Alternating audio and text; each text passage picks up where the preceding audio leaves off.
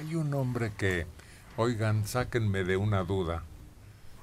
¿Estará tratando de suicidarse?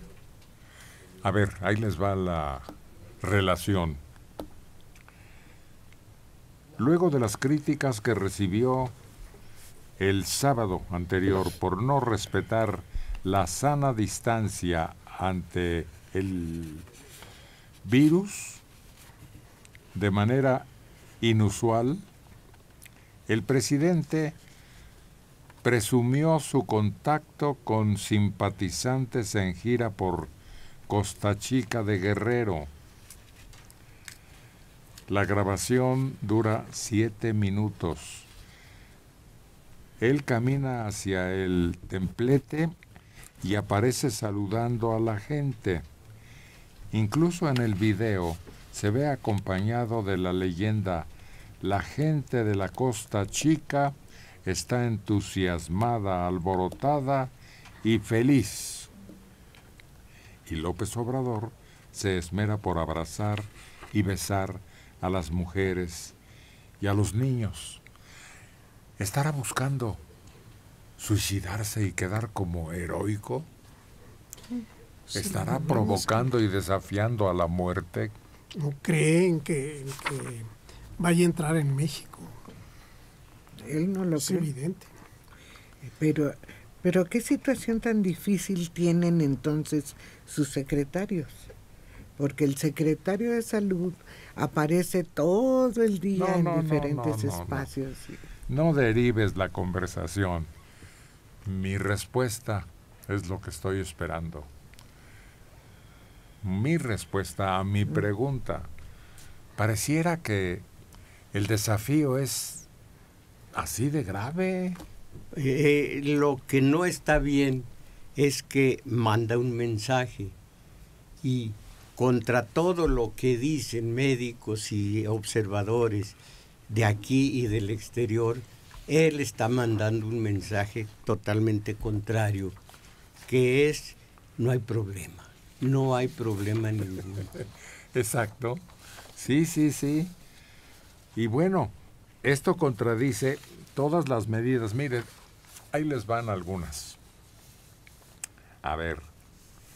Mm, los eventos y actividades de arte y cultura en teatros, salas de conciertos, centros culturales y zonas arqueológicas, incluida la visita por el equinoccio de primavera previsto para el 20 de marzo al 20 de abril serán reprogramados.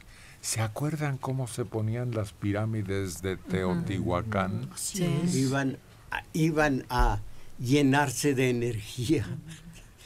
Ah, también en Copilco y en, junto a Tlanepantla, ¿cómo se llama? Tenayuca. Tenayuca iban multitudes se trepaban en las pirámides y pues, pues buscaban eh, algún tipo de energía cósmica, pero ahora creo que van a tener que buscar otro lado.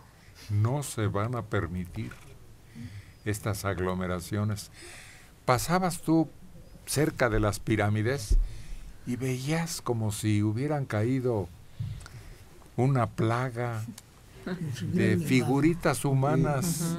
Parece que la, la, el edificio, la pirámide, se hubiera llenado de corucos. pequeñitos, pequeñitos, que se movían allá arriba, que hacían eh, en el contra el cielo, hacían su figurita más visible, todos ellos llenándose de energía. Bueno, pues que la situación esta del ejemplo de abrazar y besar y acercarse a la multitud no parece desafío. Seguimos, a ver, con otras situaciones. A partir del martes 17 de marzo, es mañana, ¿verdad? Mañana, sí. A partir de mañana, la Cineteca Nacional operará al 50% de su capacidad en salas de cine y por el momento se suspende el foro al aire libre y el resto de la programación artística. En el caso de museos, galerías, zonas arqueológicas, bibliotecas y tiendas, salud y cultura permanecerán abiertos. Sin embargo, se aplicará el criterio de sana distancia para limitar el cupo. Así que no te me acerques. Ay, tú sí serás de oro, decíamos de chicos. Tú no me toques, porque es la sana medida que se está tomando. Que se revisarán diariamente con la Secretaría de Salud y pueden variar en cualquier momento. Esta pausa no significa suspensión de la vida cultural. Así que todas esas medidas y muchas más estarán sorprendiendo a la gente que ahora está enclaustrada. Eh, la vida cultural existe como para decir no se va a suspender. Está muy menguada la, la vida cultural, pero sí esto, yo ayer besé a la señora que abre la puerta en radio y el empellón que me dio, no li me tangere. No li me tangere, así dice Jesucristo resucitado. ¿Cómo? No me toques. No me tangere, no me toques. Claro, él no lo dijo en latín. Lo dijo claro en que no. arameo. Lo dijo en arameo. Eh, sí. También, también la señora de la puerta no me lo dijo en, Ni- en ni en latín. latín ni en me lo dijo en el más eh, indignado de los españoles. No la, no la amuele, algo por el estilo. Eh, y, y el empujón, y le dije, ¿y ahora qué? Pues qué, válgame. Pero eh, sí, sí tuvo que hacer muchas cancelaciones en las visitas a museos y todo eso. Sí. Hay mm, visitas en museos que estaban programadas con un mes, mes y medio, por grupos que asisten y que ya les dijeron que tendrán que esperarse hasta que esta situación pase, porque algunos de esos lugares van a cerrar, no solo limitar la asistencia.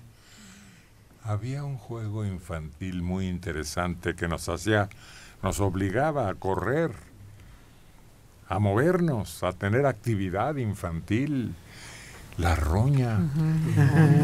Y efectivamente tenías que escapar de quien se te acercara y te tocara porque ya estabas, Eh, inmovilizado, sí. ya no te podías mover hasta que alguien te desencantara. Ese es los encantados, quedas- que es quedas- distinto. Quedas encantado, sí. La La otra roña es es otra. otro. Era de correr y correr y correr Sí. para que no, to- no te tocara el que tenía la roña. Sí.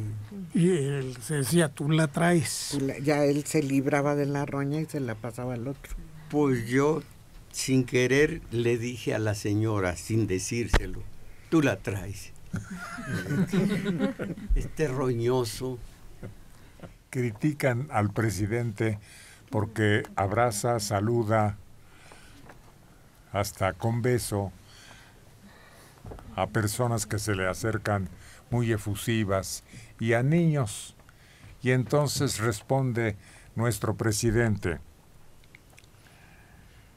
será el subsecretario de salud quien me diga cuándo deje de realizar giras, de saludar, de abrazar y dar besos. Cuando él me diga, él me va a decir, él me va a decir en la etapa de atención que está considerada, porque hay todo un plan. Él me va a decir, no es conveniente que se reúna con mucha gente y ya no debe de ir a esos actos, ni saludos, ni abrazos, ni besos, nada. Él me va a decir cuándo. Pues yo le diría, señor presidente, con todo respeto, que usted tiene la gran responsabilidad de mandar en este país y debe cuidarse mucho más que los otros 100 millones y pico de mexicanos, porque todos estamos dependiendo de su salud, de su trabajo, de su participación en actividades que afectan a todo el país. Entonces yo le pediría atentamente que se cuide por todos nosotros. Ya te metiste como la suegra en un argüende, en un chisme. Sí, él ya lo dijo con toda claridad. Todas las medidas que se tomen en este asunto será lo que digan los científicos los encargados de la salud de todo México. Y ahorita lo está remarcando. Cuando este señor es el encargado de salud, con un puesto muy importante, me diga que ya deje de expresar así mi euforia, mi gusto o mi saludo, entonces lo haré. Bueno, el chiste es a ver si se anima el que, el que le debe decir eso, porque no es fácil eh, ir con el mero mero y decirle deje de hacer esto. Yo recuerdo cuando la época de los romanos, que las envidias y los argüendes crecían y a veces hasta asesinaban a algunos, había un hombre encargado de acercarse y decirle, recuerda que eres humano. Ah, eh, yo se me hace la cosa más fácil que él tiene su jerarquización muy clara cuando con buenas maneras, sin ningún género de, de mala intención le diga, ahora sí ya, ya, llegamos a esta etapa. No hay problema. Digo yo, no, no tiene problema si además le dijo él, usted es el encargado de decirme a qué hora, cuándo, cómo, está clarísimo. No es que no se atreva, simplemente es su obligación y se lo puede decir, pero con la mayor tranquilidad. Ahora sí ya, ya es peligroso. Ahora sí se acabó el besuqueo. Y punto final.